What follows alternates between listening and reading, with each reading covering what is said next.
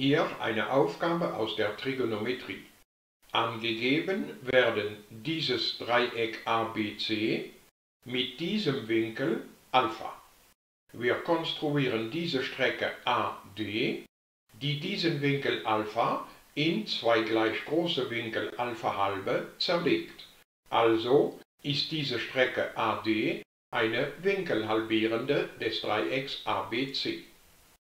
Anscheinend kann man die Länge von dieser winkelhalbierenden Strecke, also diese Zahl b Index a, durch diese Formel berechnen. Es reicht zu rechnen, 2 mal diese Seitenlänge b mal diese Seitenlänge c geteilt durch diese Seitenlänge b plus diese Seitenlänge c mal Cosinus von der Hälfte des angegebenen Winkels Alpha. Wir werden jetzt diese Formel beweisen. Der Beweis dieser Formel beginnt mit einer ganz einfachen Idee, und zwar der Flächeninhalt von diesem Dreieck BAD plus der Flächeninhalt von diesem Dreieck ACD ist gleich zum Flächeninhalt des Dreiecks ABC, was also bedeutet, die zwei kleineren Dreiecke zusammen ergeben das große. Der Flächeninhalt von dem großen Dreieck ABC, das ist der Flächeninhalt von dem linken Dreieck ABD plus der Flächeninhalt von dem rechten Dreieck ACD. Wir wissen, dass man den Flächeninhalt von einem Dreieck berechnen kann durch Basis mal Höhe geteilt durch 2, aber auch durch Seite mal Seite mal Sinus des Winkels, den diese zwei Seiten bilden, geteilt durch 2. Wir werden diese drei Flächeninhalte anhand dieser Formel berechnen. Und zwar so. Der Flächeninhalt des großen Dreiecks ABC, das ist die Länge dieser Seite, also klein b, mal die Länge dieser Seite, also klein c, mal Sinus des Winkels, den die zwei Seiten bilden, also Alpha, geteilt durch 2. Jetzt das linke Dreieck ABD.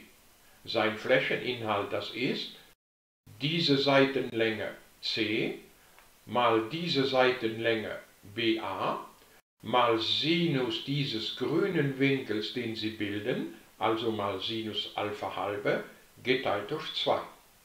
Jetzt noch dasselbe fürs rechte Dreieck ACD. Dieser Flächeninhalt ergibt Seitenlänge klein b mal Seitenlänge b Index a mal Sinus dieses blauen Winkels, den sie bilden, also mal Sinus von Alpha halbe, geteilt durch 2. Jetzt werden wir diese Gleichung mit 2 multiplizieren, ist gemacht. Und jetzt stellen wir auch noch fest, dass wir rechts vom Ist-Zeichen BA sowie Sinus von Alpha halbe ausklammern können und zwischen Klammern bleibt dann C plus B, also B plus C. Wir werden jetzt den rechten Teil nach links setzen und den linken Teil nach rechts setzen. Das darf man natürlich in einer Gleichheit. Und dann schauen wir uns noch diesen Winkel Alpha an. Hier steht Sinus von Alpha. Und hier kommt der Winkel Alpha halbe vor. Das erinnert dann stark an dieser Verdopplungsformel.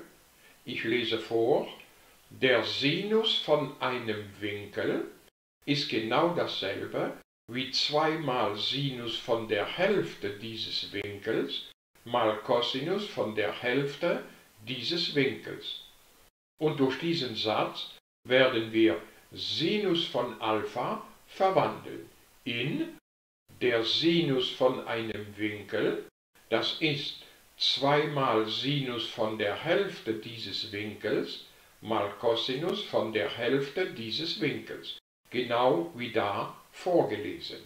Also haben wir jetzt diese Gleichheit, in der wir noch durch Sinus Alpha halbe kürzen können, dann machen wir das.